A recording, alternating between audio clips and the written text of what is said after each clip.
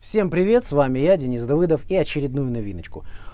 На этот раз это будет достаточно бюджетный вариант, простой, это новинка от Кимар. То есть я думаю, вам уже знакома эта фирма. Ну, это Colt 1911 SO от эм, Курса был такой же фирмы, да, ну, то есть там еще ряд, CZ75, кстати. То есть это итальянская фирма, которая делает холостое оружие, и э, это совсем бюджетный их вариант это уже сигнальное оружие по закону, как классифицируется, а не списанное, холощенное. Ну, э, соответственно, тут тоже все сделано из такой же дипломатики идет и сделано а, тоже из э, сплавов. А, сплавов, содержащие алюминий, кремний, ну то есть замак или как его неправильно у нас называют силумин. Силумин все-таки развалится даже от такой стрельбы.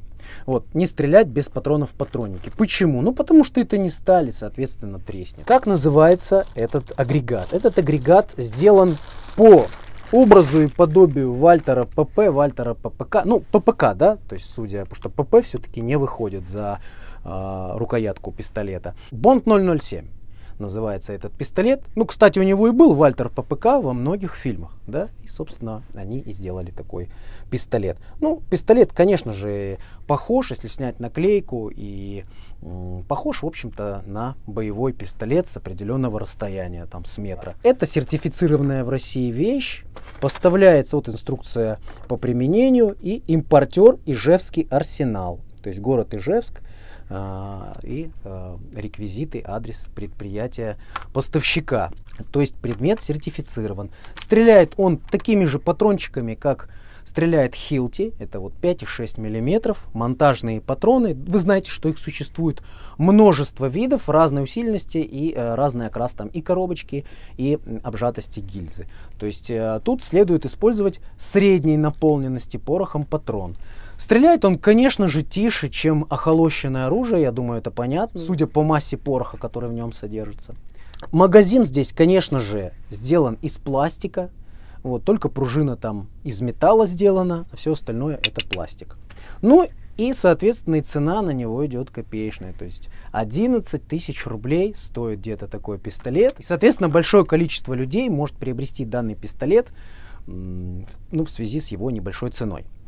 А, можно его использовать там, для подачи сигналов, для отпугивания там, собак. Но это сигнальное оружие. Преимущество этих патронов очевидно. Они стоят дешевле холостых патронов, даже тех, э, как 10 ТК. Ведь на 10 на ПМ, у нас, в общем, самый дешевый, это Макаров СО, на него идет 10 ТК. Сколько стоит коробка? 500 рублей.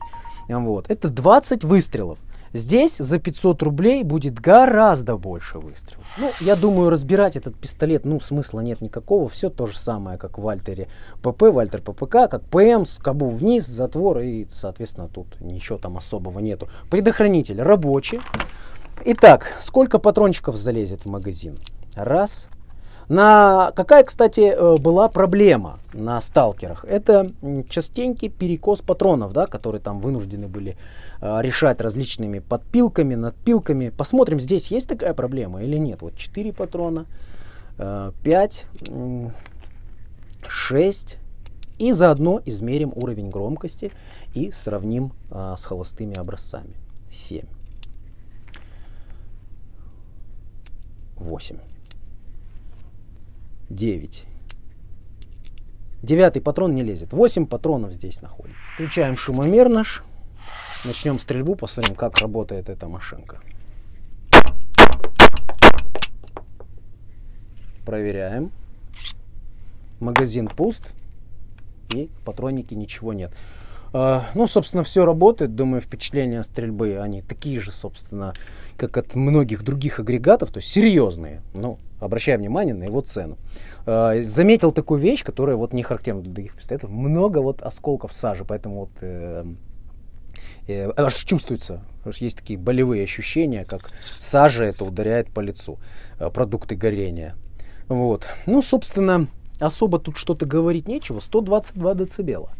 Это прилично. Это прилично. Ну, в закрытом помещении тут будет немного по-другому, потому что, да, вы помните, что Макаров я мерил, было 115, там 111 даже децибел. Это улица, звук уходит, здесь закрытое помещение, он отражается, соответственно, и получается погрешность.